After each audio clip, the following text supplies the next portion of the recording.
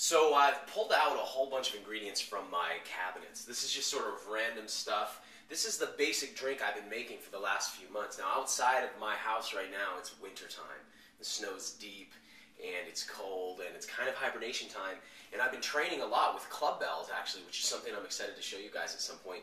Which are um, it's like a strength training thing that I've been doing. And so um, I've been working on what's a good drink for me to actually keep on body mass, lean body mass keep my energy levels high, but not overfeed myself because I'm not outside as much as I would be in the uh, summertime, as an example. So what I've done is I've pulled a bunch of the ingredients here together, and I'll kind of tell you a little bit about each one as I put them into this chaga tea and turn that into a chaga elixir. Okay, first thing I, am going to throw in there is some salt. Every time um, I make a drink, I always make sure I put salt in it. And I think one of the things we do in our culture is underestimate our salt needs. That has to do with the fact that as we were more and more domesticated, our salt needs were taken care of us by food processors. And so they would add the salt to our food for us, and we would buy it in boxes or cans already salted.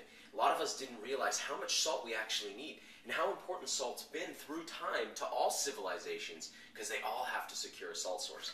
This is a collection of salts that I've had um, for a long time. Whenever I find new salts, whether they be red salts or black salts or rock salts or fresh sea salts. I like to throw a little into this jar, and so that's like a mixture. And I also have separate containers of different salts as well. I'm notoriously bad at measuring out how much stuff I'm going to use, and so I'm going to try to give you a recipe out of this. So actually what I'll do is I'll give you a pinch of salt. You'd be surprised at how much better salt will make foods taste if you're not using a lot of salt now, especially things like drinks or chocolates, things that are sweet. You'd be surprised at how important salt can be to those kind of recipes. Okay, next thing I'm going to throw in there is some chia seed. The reason is we want to thicken that up. That's real thin, and if we drink that like it is, it's not going to be real filling. And so I'm looking to add some protein. I'm looking to add something gelatinous to thicken the drink. It's what I call an elixir craft. You can check out my elixir craft course at elixircraft.com or on the sidebar of the danielvitalis.com website that's a course I designed to really teach people about making drinks. If they want to like add them in as a significant part of their diet. And one of the things we talk about is substrates, gels, things that are thickeners to the drink. Well, chia seeds, one of the best thickeners I know about.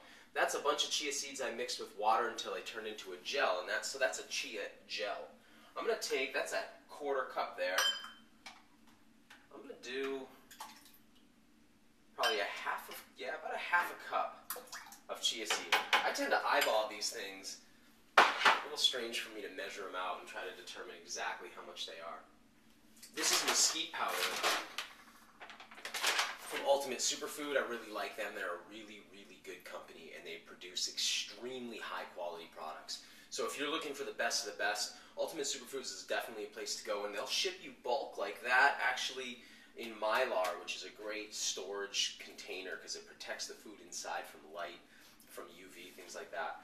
So mesquite's a really nice tasting powder, but it's, it's a flour that was traditionally used by the Apache Indians of the Southwest. I think that's cool. It's like an indigenous food. Um, very unchanged. Its genetics are very similar to the wild plant. I'm going to use about a quarter cup there.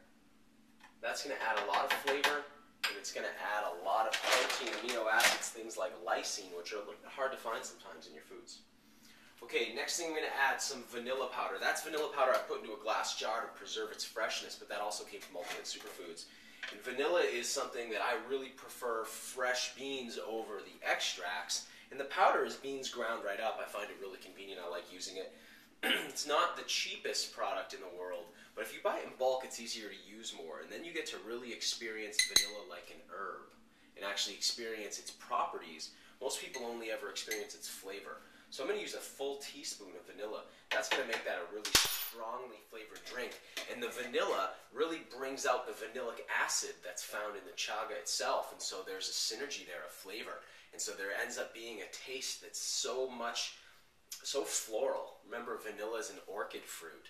And so we can really bring out that floral uh, aroma.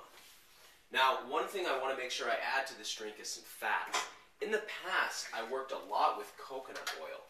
Today I'm working a lot more with butter, grass-fed butter, and I go to farms to get that. Meet the cows there. My favorite butter comes from Jersey cows, and I find those in my local area. And that means that my fat source is coming from my environment, whereas the coconut oil is coming off and really from pretty far away. So it allows me to get a local fat, and I think it has properties to it that you just can't get out of plant fats, and that's why I use it. Um, I know that some, a lot of vegans follow this kind of um, nutritional paradigm, and so that might seem a little strange to them. But after studying the works of people like Weston Price, I've come to believe that butter is extremely important to my overall health strategy at this point in my life. So what I've got here is a piece of butter that I got from a butter mold. And it was made by a family that uses traditional wooden butter molds. So what I'm going to do is just slice a piece of that off and add that to the drink. I'd say that the piece I'm using here is about a tablespoon's worth. Nice pat of butter, that's going to add saturated fat to the drink we have grossly underestimated our saturated fat need in this culture. In fact, our culture's kind of waged a war on saturated fat and convinced us that saturated fats are bad for us. Turns out that cholesterol and saturated fat are extremely important components of your diet. And if you don't have a good source of them, you may be suffering nutritionally. So things like butter are a great way to add those things back in. Remember, like I said, cholesterol is it cholesterol is extremely important to your diet. In fact, cholesterol is what we make all of our hormones out of, and cholesterol is found coating all of our nerves. Our whole nervous system relies on cholesterol to protect us from short circuits in our nervous system. These are free range eggs from my local environment here. Again, I visit farms and I find people who are raising their animals, husbanding their animals in a traditional way, in an intelligent way, in a humane way.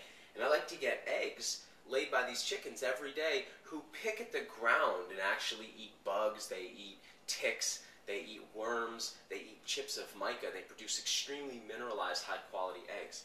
I like to add those raw right into my drinks, so what I'll do is just break that open, drop the whole egg in there. Now when I was a kid, eggs were considered really good for you. As I got a little older, eggs were considered bad for you. Then it came out, well, that eggs were good for you, but just the whites.